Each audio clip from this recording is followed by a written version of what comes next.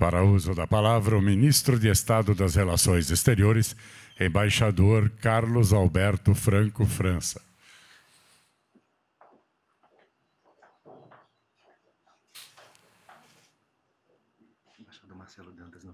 Obrigado. Senhor Jair Bolsonaro, presidente da República, senhor Hamilton Mourão, vice-presidente da República, ministro-chefe da Casa Civil, Eduardo Ramos, em nome de quem cumprimento os ministros aqui presentes, senhoras e senhores parlamentares, embaixador Ernesto Araújo, a quem hoje sucedo com muita honra, e a querida embaixatriz, conselheira Maria Eduarda de Seixas Correia, minha colega de turma. Gostaria também aqui de fazer registro de alguns amigos que me auxiliaram nessa trajetória, o almirante de esquadra Flávio Rocha e toda a sua equipe de assessores internacionais, o Dr. Célio Faria Júnior, chefe do gabinete pessoal, e o Dr. Pedro César Souza, subchefe de assuntos jurídicos, cuja devoção ao trabalho e lealdade ao presidente da República servem de norte para mim. É, registro aqui também, não podia deixar de ser, a presença dos meus filhos Antônio e Ana Clara e de minhas irmãs Rita e Andréa. Começo por agradecer ao presidente da República a confiança em mim depositada. Vossa Excelência sabe que continuará a contar com meu empenho integral. A meu antecessor, embaixador Ernesto Araújo, agradeço o apoio na transição. O momento é de urgências e o presidente Bolsonaro instruiu-me a enfrentá-las. Essa é a nossa missão mais imediata. Sublinho aqui três delas: a urgência no campo da saúde, a urgência da economia e a urgência do desenvolvimento sustentável. A primeira urgência é o combate à pandemia da Covid-19.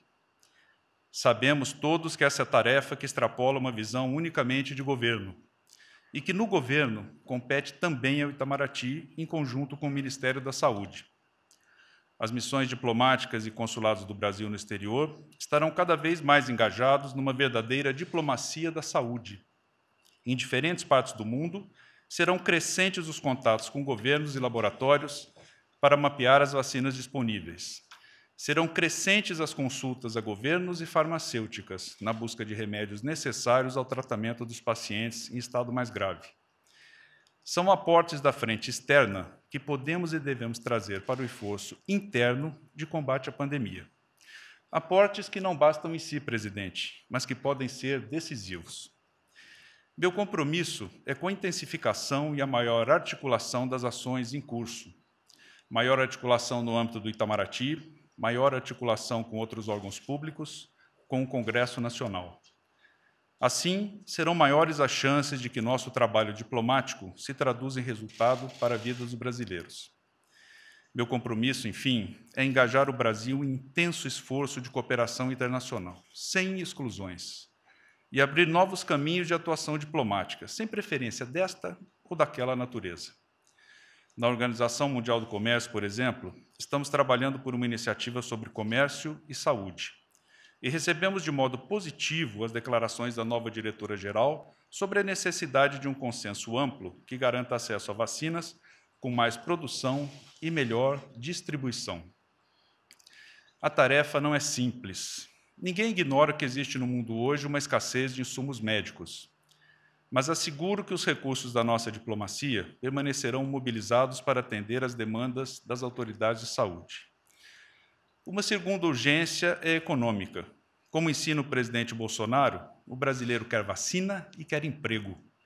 E para crescer e gerar mais empregos, a agenda da modernização da economia é fundamental.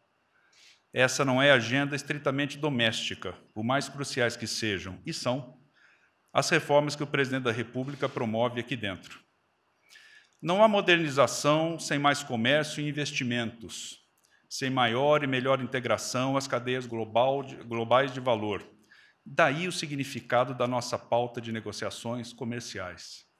Não há modernização sem a exposição do país aos mais elevados padrões de políticas públicas, e por isso é importante nosso cada vez mais estreito relacionamento com a OCDE. Não há modernização sem abertura ao mundo.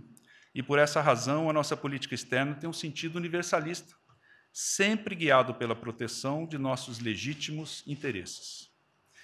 Por fim, presidente, temos a urgência climática. É urgência em outra escala de tempo, mas é urgência. Aqui, como em outras áreas, vemos diante de nós a oportunidade de manter o Brasil na vanguarda do desenvolvimento sustentável e limpo.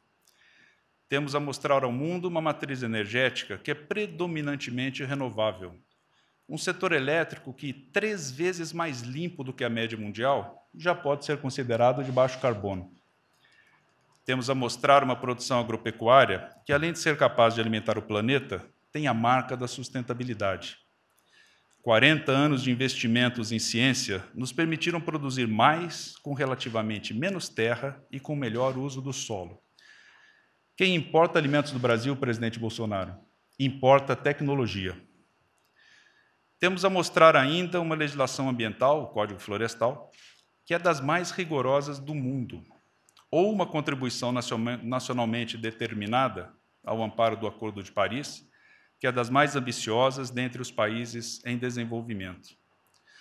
Não se trata de negar os desafios, que obviamente persistem, mas o fato é que o Brasil, em matéria de desenvolvimento sustentável, está na coluna das soluções. Senhoras e senhores, o diálogo é essencial na resposta a todas essas urgências sanitária, a econômica, a ambiental. O Brasil sempre foi ator relevante no espaço do diálogo multilateral. Isso não significa, como é evidente, aderir a toda e qualquer tentativa de consenso que venha emergir nas Nações Unidas ou em outras instâncias. Não precisa ser assim, presidente, e não pode ser assim. O que nos orienta, antes de tudo, são nossos valores e interesses. E, em nome desses valores e interesses, continuaremos a apostar no diálogo como método diplomático. Método que abre possibilidades de arranjos e convergências que sempre soubemos explorar em nosso favor. O consenso multilateral bem trabalhado também é a expressão da soberania nacional. Outro lugar onde o diálogo se impõe é a nossa vizinhança. Os acordos nucleares do Brasil com a Argentina, por exemplo, que já tem mais de três décadas, são símbolo do predomínio da cooperação sobre a rivalidade. O Mercosul, que também completa três décadas, representa uma etapa construtiva da integração com nossos vizinhos. E é preciso ir além, abrindo novas oportunidades. Senhoras e senhores, senhor presidente, não será suficiente dialogar com outros países. Esse é o mínimo. É a alma do nosso negócio. Diante das urgências que somos chamados a enfrentar, e no encaminhamento de tantas outras questões, manterei canais abertos dentro do nosso país, com meus colegas de esplanada, com os poderes da República, com os setores produtivos, com a sociedade. São canais indispensáveis, inclusive na solução de pendências administrativas que legitimamente afligem os integrantes do serviço exterior brasileiro. Foi assim que aprendi no Itamaraty a entender o ofício de diplomata, um construtor de pontes. Senhoras e senhores, no Itamaraty aprendi também que a política externa é uma política pública e, como tal, deve estar a serviço das prioridades dos brasileiros. Comprometo-me a buscar incessantemente a compreensão exata dos desafios do momento e a escutar as demandas da sociedade. Tenho em mente a obra do Barão do Rio Branco, que tão bem soube promover, nas circunstâncias de sua época, a conjugação entre a abertura para o mundo, a defesa da paz e do direito e o fortalecimento da nossa soberania. É essa linha de continuidade que nos cabe atualizar a cada geração, e é nesse espírito que assumo as funções com que Vossa Excelência me distinguiu, presidente Jair Bolsonaro. Penso agora em colegas de diferentes gerações com quem tenho tido o privilégio de conviver gente de alto preparo e de genuína devoção ao Brasil. Penso em antigos chefes com quem tanto aprendi e a quem tanto devo. Esse é o Itamaraty que me cabe agora honrado dirigir. Estejam certos de que terão o melhor de mim. Não subestimo, presidente, a dimensão dos desafios, mas maior é a nossa vontade coletiva de acertar. Muito obrigado.